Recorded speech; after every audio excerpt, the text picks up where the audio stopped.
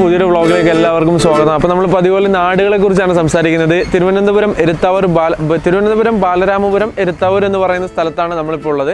ഇവിടെ ഏതൻ God farm എന്ന് പറയുന്ന നമ്മുടെ ഇഹിലാമിക്കയുടെ നിങ്ങൾക്ക് ഒത്തിരി അറിയാവുന്ന ആളാണ്. പിന്നെ മറ്റ് വീഡിയോസിൽ ജനം ടി വിയുടെയും കൗമുദി ടി വിയുടെയും ഒക്കെ പരിപാടിയിലൂടെ നിങ്ങൾക്ക് അറിയാവുന്ന ആളാണ്. അപ്പോൾ നമുക്കിന്ന് ജസ്റ്റ് ഇവിടെ നമ്മൾ വന്നപ്പം ഭാഗ്യം പോലെ കിട്ടിയതാണ്. അപ്പോൾ ബീറ്റിൽ ആടുകളെ കുറിച്ചിട്ട് പറയുന്ന ഒരു സെക്ഷൻ അതിൽ തന്നെ എടുക്കാമെന്ന് വിചാരിക്കുന്നു. അപ്പോൾ നമുക്ക് ഒട്ടും സമയം കളയാതെ തന്നെ ഇസ്ലാമിക്കയുടെ അടുത്തേക്ക് പോകാം. ലെറ്റ്സ് ഗോ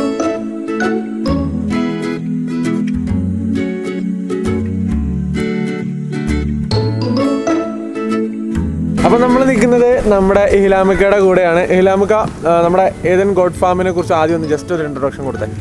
ഏതൻ ഗോഡ് ഫാമിനെ കുറിച്ച് പറയുകയാണെങ്കിൽ പത്ത് വർഷങ്ങൾക്ക് മുമ്പ് ഞാൻ സൗദിയിൽ നിന്നും നാട്ടിലേക്ക് വരുന്ന സമയത്ത് അവിടുത്തെ ആടുകളുടെ വളർത്തുന്ന രീതി അവരുടെ സ്വദേശി സ്വദേശിവൽക്കരണമാണ്. അത് വേറെ ആർക്കും അവിടെ എന്ത് ചെയ്യില്ല ആട് വളർത്തൽ പാടില്ല. സ്വദേശിവൽക്കരണം സൗദിയിൽ. അതെന്തുകൊണ്ടാണ് എന്നുള്ളത് നോക്കിയപ്പോൾ ഏറ്റവും കൂടുതൽ വരുമാനം കിട്ടുന്ന മാർഗമാണ് എന്നറിഞ്ഞുകൊണ്ട് തന്നെ കേരളത്തിൽ വന്നപ്പോഴും അതേ സ്ഥിതി തന്നെയാണ്. കാരണം വെള്ളമുട്ടകളും വല്ല മുട്ടകളും ബ്രോയിലർ കോഴികളെല്ലാം അന്യ സംസ്ഥാനങ്ങളിൽ നിന്ന് വരുമ്പോൾ നമ്മുടെ ഉൽപ്പാദനം ഈ ആടുകളാണ്. അത് പ്രധാനമായിട്ടും കുടിൽ വ്യവസായം പോലെയാണ് നമുക്ക് ആട് വളർത്തൽ കാണുന്നത് തന്നെ. അതിനെക്കുറിച്ച് പഠിച്ചപ്പോൾ ഏറ്റവും കൂടുതൽ ഗ്രോത്ത് വരുന്ന ആട് ഏതാണ് എന്ന് കൂടി പഠിച്ചപ്പോൾ ബീറ്റിലാണ് ഏറ്റവും കൂടുതൽ ഗ്രോത്ത് വരുന്നത്. ആദായം കിട്ടുന്നതും ബീറ്റിലാണ് എന്നുള്ളതും. എന്നാലും ബീറ്റാടുകളും ആദായകരമാണ്. അത് ആ രീതിയിൽ ചെയ്യുമ്പോൾ തന്നെ. എന്നിലും അത് ആളുകൾക്ക് കൂടുതലും അത്യാവശ്യം കൗതുകമുള്ളതും എത്ര വളർന്നിരുന്നാലും കുട്ടികളെ ദ്രോഹിക്കാത്തതുമായ ആടുകളെ എങ്കിൽ കൊണ്ടുവരണം എന്നുള്ള ആശയത്തിന് മേലുണ്ടായതാണ് നമ്മുടെ ഈ ഏതൻ ഫാം. ഏതൻ ഫാം. ഇന്ന് കേരളത്തിൽ ഒരു ദൈവാനുഗ്രഹം കൊണ്ട് തന്നെ അറിയപ്പെടുന്ന ഒരു ഫാമുമാണ് എന്റെ ഈ പത്ത് വർഷമായി അല്ലേ? പത്ത് വർഷമായി ഇതിന്റെ പത്ത് വർഷമായി. അപ്പൊ നമ്മൾ ഇന്ന് സംസാരിക്കാൻ പോകുന്നത് ബീറ്റൽ ആടുകളെ കുറിച്ചാണ്. ഇവിടെ ഇപ്പം എവിടെ നിന്ന് വന്നിരിക്കുന്നതാണ്? ഇത് പഞ്ചാബിൽ നിന്ന് വന്ന ആടുകളാണ്.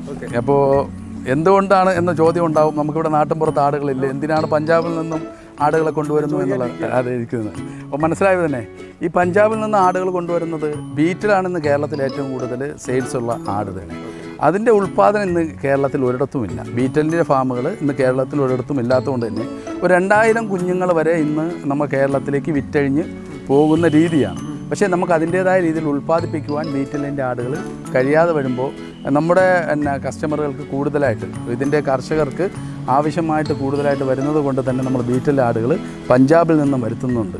പഞ്ചാബിൽ നിന്ന് വരുത്തുന്ന ആടുകൾ ഫസ്റ്റ് ടൈം കാണുമ്പോൾ ഇതുപോലെ ഇത്തിരി മെലിഞ്ഞെല്ലാം ഉണ്ടാവും. ഒരാഴ്ച ആകുമ്പോഴേക്കും ആടുകൾ കെയറായി നല്ല കുട്ടനായിട്ട്. നമ്മൾ മറ്റ് ആദ്യം ഇതിൽ കാണിച്ചത് അതെ വേറെ ഉണ്ട്. അത് അതിനെ കാണിക്കുന്നത് പോലെ നല്ല തൂക്കത്തിൽ വരുന്നുണ്ട് ആടുകൾ ഇത് കുഞ്ഞുങ്ങൾ ഉൾപ്പെടെ ഒരു മൂന്ന് മാസം മുതൽ ഒന്നര വയസ്സ് വരെയുള്ള ഇതിപ്പോൾ ഒരു എഴുപത് എഴുപത്തഞ്ച് വരെയുള്ള ആടുകൾ നിലനിൽക്കുന്നു. ഇപ്പം നിലവിലുണ്ട്. ഓക്കെ. അപ്പോൾ ഈ ബീറ്റിൽ ആടുകളെ നമ്മൾ കൊണ്ടുവരുന്നതൊക്കെ നല്ല ക്വാളിറ്റിയാണോ ആണോ? എങ്ങനെ ഇതിൽ നമുക്ക് പൊതുവേ പറയാമല്ലോ എല്ലാ ആടുകളും ക്വാളിറ്റി ഉള്ള ആടുകളെ നമ്മൾ ഇത്രയും ദൂരം ചുമന്നുകൊണ്ട് വരാറുള്ളൂ. പിന്നെ ഇതിൽ കർഷകർ കൂടുതൽ പൈസ വാങ്ങുന്നതിന് ഇടനിലയിൽ നിൽക്കുന്ന അല്ല വേറെ നിൽക്കുന്ന ആൾക്കാർ പല ഇതുകളും കാണിക്കാറുണ്ട്. അതിൽ ക്വാളിറ്റി എന്ന് പറഞ്ഞുകൊണ്ട് കൂടുതൽ പൈസ വാങ്ങുന്നതിന് വേണ്ടി അത് ക്വാളിറ്റികൾ മെയിന്റെയിൻസ് ചെയ്യാറുണ്ട്. എല്ലാത്തിനും പൊതുവായിട്ടുള്ള വിലയാണ് ഈ ബീറ്റലുകൾക്ക് വരാറ്. എല്ലാ അവിടെ നാട്ടിൻപുറത്ത് പഞ്ചാബിൽ കൊടുക്കേണ്ടി വരുന്ന വില എല്ലാത്തിനും തുലമായിട്ട് കൊടുക്കേണ്ടി വരും. കേരളക്കാരുടെ ചില കേരളക്കാർക്കാണ് ഈ ബീറ്റൽ ബ്ലാക്ക് സിൽവറായി ഇതെല്ലാം കേരളക്കാരുടെ പ്രത്യേകതയാണ്. ഓക്കെ അപ്പോൾ ഈ എത്ര തരം ബീറ്റലുകളുണ്ട് മൊത്തത്തിൽ ഇപ്പം നമുക്കൊരു നാല് തരം ബീറ്റലുകൾ നമുക്ക് കാണാം. ഒന്ന് കാല എന്ന് പറയുന്ന ബീറ്റൽ കറുപ്പും വെള്ളിക്കണ്ണോടുകൂടി അതും എല്ലാ കണ്ണുകളും വരുന്നുണ്ട്? വെള്ളിക്കണ്ണ്? എന്ന് പറഞ്ഞാൽ സിൽവറായി ഇത് നമ്മുടെ ഈലാമിക്കട ആടുകളാണ് ഇപ്പം ഇതിപ്പോൾ കാണുമ്പോൾ നിങ്ങൾക്കൊരു ഒരു മെലിഞ്ഞിരിക്കുന്ന പോലെ ഫീൽ ചെയ്യുന്നുണ്ടെങ്കിൽ ജസ്റ്റ് രണ്ട് ദിവസം മുമ്പ് പഞ്ചാബിൽ നിന്ന് ഇത് എത്തിയേ ഉള്ളൂ. ഇതൊക്കെ ഒരാഴ്ച നിങ്ങളിവിടെ എത്തുമ്പോഴത്തേക്കൊക്കെ ഇവന്മാരൊക്കെ നല്ല അടിപൊളി കുട്ടപ്പന്മാരായിട്ടുണ്ടാവും. വീഡിയോ കാണുന്നവരൊക്കെ അതൊന്ന് ഓർക്കുക. നമ്മളിവിടെ ഇവിടെ ലോഡ് വന്നപ്പം പെട്ടെന്ന് വന്ന് ജസ്റ്റ് ഇവിടെ ആക്സിഡന്റിൽ ഇവിടെ എത്തിപ്പെട്ടു. അങ്ങനെ നമുക്ക് ഇഷ്ടപ്പെട്ടപ്പോൾ ഇത് സെപ്പറേറ്റ് ആയിട്ട് തന്നെ ചെയ്യണം തോന്നി ചെയ്തതാണ്. അപ്പോൾ വരുന്നവർ അതും കൂടി അറിഞ്ഞിരിക്കുക. നിങ്ങളൊക്കെ വരുമ്പോഴത്തേക്ക് ഇവരൊക്കെ നല്ല അടിപൊളി കുട്ടപ്പന്മാരായിട്ടുണ്ടാവും. ഇത് ബീറ്റല ഇതിന്റെ കണ്ണ് വെള്ളിയല്ല. കണ്ടില്ലേ? സാധാ നമ്മുടെ നാടൻ ആടിന്റെ കണ്ണാണ്. പക്ഷേ ആടിന്റെ കണ്ണിന്റെ ഒരു ചതുരം പോലെയാണ് ഇതിന്റെ ബീറ്റലിന്റെ കൃഷ്ണമണി കാണുന്നത്. അതേപോലെ തന്നെ ഇതിൽ വ്യത്യ- വ്യത്യാസമുണ്ട്. നമ്മൾ സാധാരണ ആടിനേക്കാളും വ്യത്യാസം ആ കണ്ണുകൾക്കുണ്ട്. കണ്ടില്ലേ? ഒരു നീല കയറി. ഇതും ബീറ്റിലാണ്. ഇതും ബീറ്റിലല്ല? ഇത് ബീറ്റിലാണ്. ഇത് വെള്ള കയറുമ്പോൾ ആൾക്കാർക്ക് മാർക്കറ്റ് പോകും. അതായത് കൂടുതൽ പൈസ കസ്റ്റമറിൽ നിന്ന് വാങ്ങാൻ പറ്റാത്തതുകൊണ്ട് ഇവർ വേറെ വേറെ നമ്മുടെ ഫാമിൽ വേറെ അടുത്ത് നിന്ന് കഴിഞ്ഞാൽ ഇത് ബീറ്റലല്ല എന്ന് പറയും. നമുക്ക് ബീറ്റലിനെ കുറിച്ച് പറയുമ്പോൾ ഇതാണ് ഈ കുറ്റി ചെറിയ രോമം കറുത്ത മെലിഞ്ഞ ഒരു പ്രകൃതവും.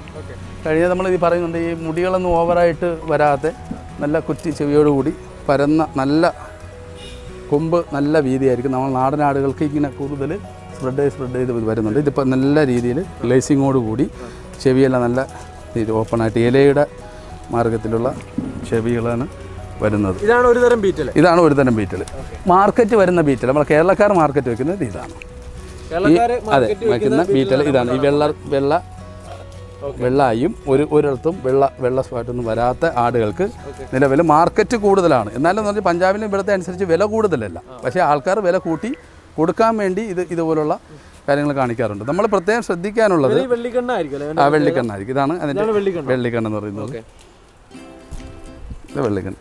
ഇതേ രീതിയിൽ തന്നെ കണ്ണുകളുള്ള വേറെ ഇത് ഇത് ഇത് ഇതൊരു ഇത് കറങ്ങി ചുവന്ന ഒരു ഇതുള്ള കണ്ണാണ്. മാർക്കുള്ള കണ്ണാണ്.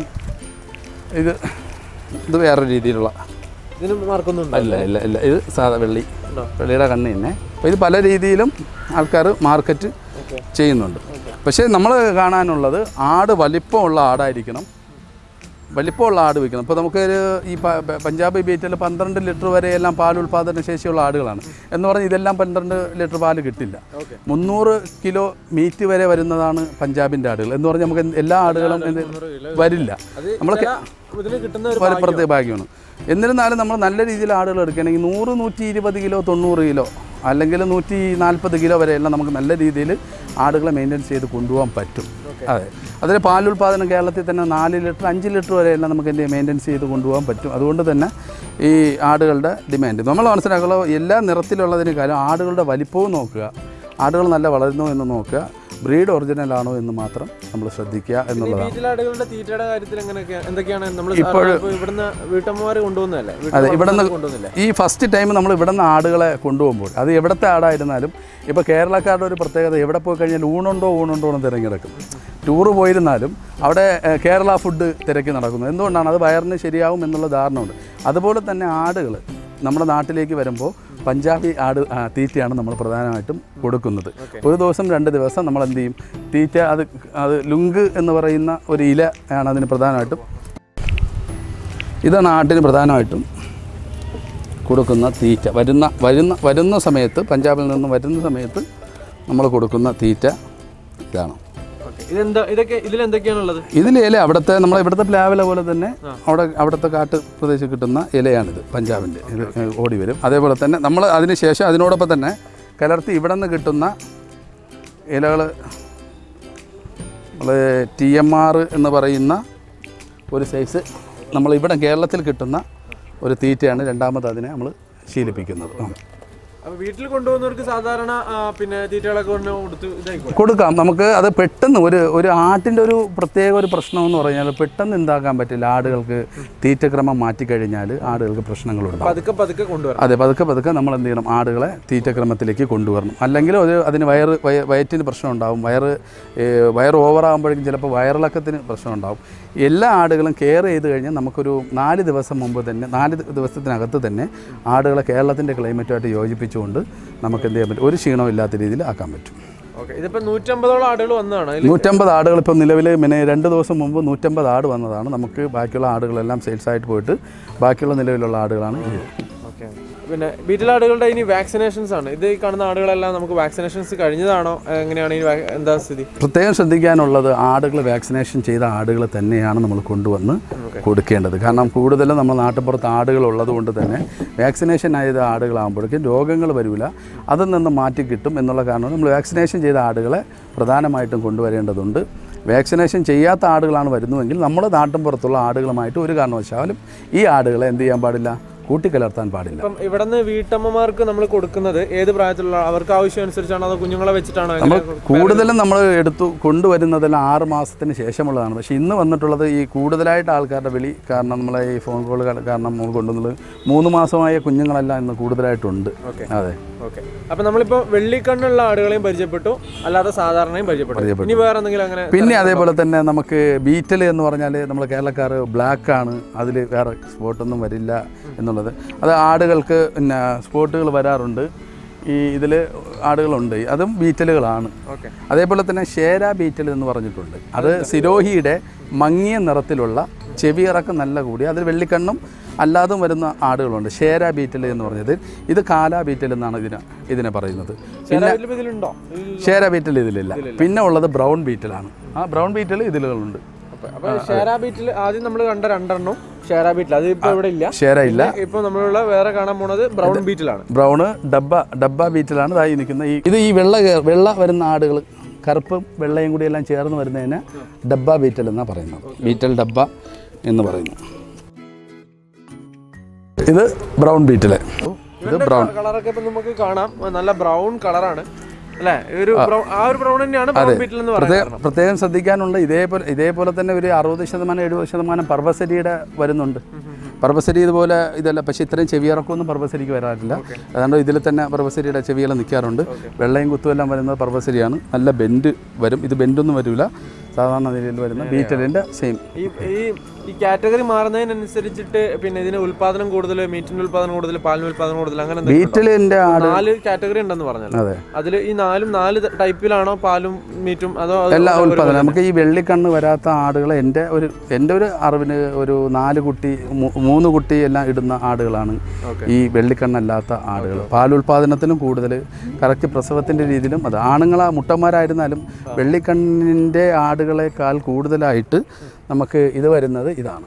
ഓക്കെ ഓക്കെ നമ്മൾ ഈ ബീറ്റിലിനെ വീട്ടിൽ വളർത്തുമ്പോഴേ സാധാരണഗതിയിൽ അവർക്ക് ഇത് പുറമേ നിന്നുള്ള ഒരു സംഭവം ആയതുകൊണ്ട് തന്നെ കേരളത്തിലേക്ക് വന്ന് നിങ്ങൾ ഇത് കുഞ്ഞുങ്ങൾക്ക് വീട്ടിലുള്ള ആൾക്കാർ വളർത്താൻ കൊടുക്കണം. അവർക്ക് അവിടെ എന്തെങ്കിലും ബുദ്ധിമുട്ട് പ്രശ്നങ്ങൾ കൂടുതലായിട്ട് വരാറുണ്ട്. എവിടെ നിന്ന് അതിപ്പോൾ നമ്മുടെ കേരളത്തിൽ നിന്ന് തന്നെ ആയിരുന്നാലും എവിടെ നിന്ന് ആടുകൾ എടുത്തിരുന്നാലും ഒറ്റയടിക്ക് നമ്മുടെ ഷെഡിലേക്ക് ആടുകളെ കൊണ്ടുപോയി വളർത്തുവാൻ പാടില്ല. കാരണം നമുക്ക് ആ ആടുകൾക്ക് പകർച്ചവ്യാധികൾ വരാനുള്ള സാധ്യത കൂടുതൽ. പ്രത്യേകിച്ചും ഇതുപോലുള്ള സ്റ്റേറ്റുകൾ വിട്ടു വരുന്ന ആടുകൾ ഒരു കാരണവശാലും നമ്മുടെ പിന്നെ പത്തോ പതിനഞ്ചോ രണ്ടോ മൂന്നോ ആടുകൾക്ക് കൂടുതലുള്ള ഷെഡിലേക്ക് നമ്മൾ എന്ത് ചെയ്യാൻ പാടില്ല? ആടുകളെ ഒരു കാരണവശാലും കൊണ്ടിടാൻ പാടില്ല. രണ്ട് രണ്ട് ഒരു കുറഞ്ഞതെങ്കിലും ഒരു നാല് അഞ്ച് ദിവസം എങ്കിലും എന്ത് ചെയ്യണം? നമ്മൾ മാറ്റിയിട്ട് ആട്ടിന് വേറെ കുഴപ്പമൊന്നും ഇല്ല എന്ന് ഉറപ്പുവരുത്തിയതിന് ശേഷം മാത്രമേ നമ്മളെ ആടുകളുമായിട്ട് എന്ത് ചെയ്യാൻ പാടുള്ളൂ? കയറ്റാൻ പാടുള്ളൂ. ഓക്കെ അപ്പൊ ഇവിടെ തന്നെ നമുക്കൊരു നല്ല അടാറ് ബീറ്റിൽ കിടപ്പുണ്ടല്ലോ. ഉണ്ട് ഉണ്ട്. നമ്മൾ കണ്ടുവരാം.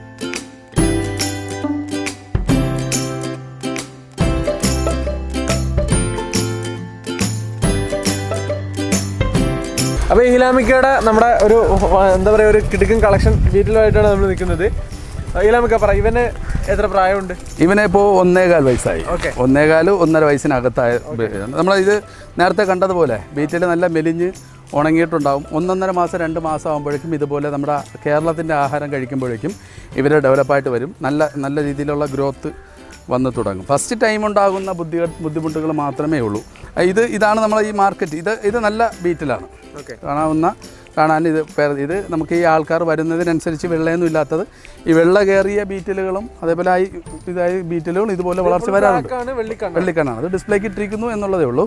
എന്നാൽ സ്റ്റഡിങ് മെയിലാണ് പിന്നെ ഇത് നമുക്ക് പ്രധാനമായിട്ട് മനസ്സിലാക്കേണ്ട ഇത് ഇതേ ഇതേ വളർച്ചയിൽ തന്നെ എല്ലാ മെയിലുകളും വരാറുണ്ട്. ക്വാളിറ്റിയിൽ ആ പിന്നെ ആൾക്കാരുടെ ഒരു കൗതുകം അനുസരിച്ച് നമ്മളിതിനെ ഇട്ടിരിക്കുന്നു എന്ന് മാത്രമേ ഉള്ളൂ. നല്ല വീട്ടിൽ എന്താണെന്ന് അറിയാനും ആണ് എന്ത് വേണമെങ്കിലും പറയാം നമുക്ക്. ഇത് കണ്ട ആൾക്കാർക്ക് നല്ല വളർച്ചയുടെ തനത് അറിയാൻ പറ്റും ഇതിന്റെ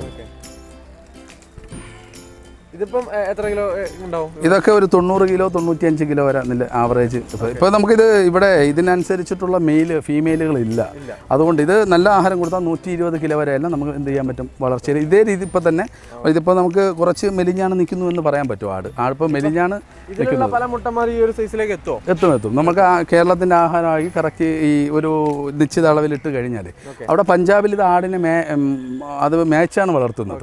അവിടെ ഇതുപോലെ നമ്മളെ വീട്ടിലിട്ട് വളർത്തുന്ന രീതിയല്ല. അവ മേച്ച് വളർത്തുന്ന ആടുകളായതുകൊണ്ട് തന്നെ ഇവർ കഴിക്കുന്നതിനനുസരിച്ച് അവരുടെ ബോഡിയിലേക്ക് അത് പിടിക്കാറില്ല. അതെന്തായിട്ട് മാറും? അപ്പൊ ഇവിടെ ഇപ്പൊ സിരോഹി അതുപോലെ ഒരുപാട് ടൈപ്പ് ആടുകളുണ്ടല്ലോ. എല്ലാ എല്ലാ ബ്രീഡുകളും നമ്മുടെ ഫാമിലുണ്ട് നിലവിൽ ഓക്കെ അപ്പൊ നമ്മളിപ്പം ബീറ്റലിന്റെ കാര്യങ്ങളാണ് ഇന്നത്തെ ഒരു സെഷനിൽ നമ്മൾ പറയുന്നത്. നമുക്ക് അടുത്ത വീഡിയോ നമുക്ക് എല്ലാ ആടുകളുടെയും ഇതുപോലെ ഇതേ സൈസിൽ സൈസിലുള്ള ആടുകളൊക്കെ ഇവിടെ ഉണ്ട്.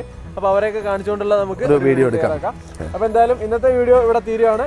അപ്പം ബീറ്റലുകളെ കുറിച്ച് പഠിക്കാനും താല്പര്യമുള്ള ആൾക്കാർക്കും എത്രയും പെട്ടെന്ന് ഈതൻ ഗോഡ് ഫാമിലേക്ക് സ്വാഗതം. പുള്ളിയുടെ നമ്പർ ഇപ്പൊ നിങ്ങൾക്ക് സ്ക്രീനിൽ കാണാം. അപ്പൊ എല്ലാവരും വിളിക്കുക. കാര്യങ്ങളൊക്കെ ചോദിച്ച് മനസ്സിലാക്കുക. അപ്പൊ നമസ്കാരം.